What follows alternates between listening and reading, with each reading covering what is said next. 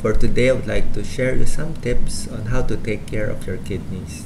The kidneys are very important. Okay, in this model, these are the kidneys. It helps expel toxins from the body. It forms the urine. It collects in the bladder and it exits the body. Okay, as we get older, our kidneys will also age and they can weaken. And in some cases, this can lead to kidney disease and kidney failure. So you have to follow these tips to take care of your kidneys. Number one, you have to limit your salt intake. If you eat too much salty foods, this will encourage the body to retain water. And if you have too much water, your blood pressure will increase, leading to high blood pressure, which can damage the kidneys. So if you're going to supermarkets, you can choose low salt varieties of uh, nuts. Even soy sauce, there are low salt varieties. For meat products, there are canned meats, low salt varieties. But of course, fresh meat is healthier than canned meat. Okay. Number two, limit your intake of high protein foods like your steak, your beef. I know some people they like to eat a high protein diet, but too much protein it overworks the kidneys. So don't forget your carbohydrates. Eat a balanced meal. Don't forget your vegetables, your fruits. Okay. Number three, keep your blood pressure under control. Your blood pressure for the kidneys, they like your blood pressure lower than 130 over 80.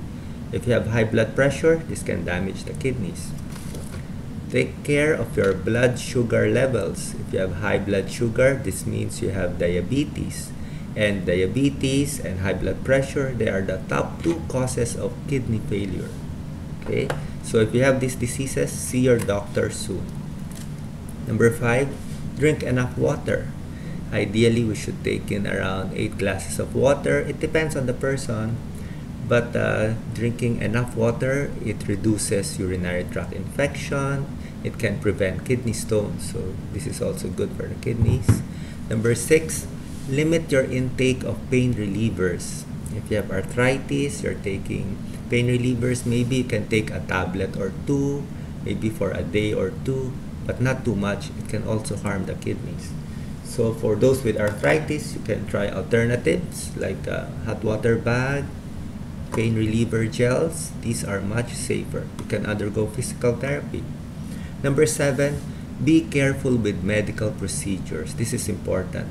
If you're undergoing a CT scan, an MRI, an angiogram, doctors use contrast dyes so they can see the organs better but these dyes they can also damage the kidney. So if you're 60 years old and above i would strongly advise you to see your kidney specialist first. Number seven be careful with vitamin c. Too much vitamin c can also cause kidney stones. So if you like vitamin c maybe 500 milligrams or less. And lastly get a kidney checkup. Check your creatinine levels. Check your urinalysis. Your doctor will know what to do. Okay so in summary, kidney diseases are difficult and expensive to treat and I want you to be healthy so please protect your kidneys. Thank you for watching.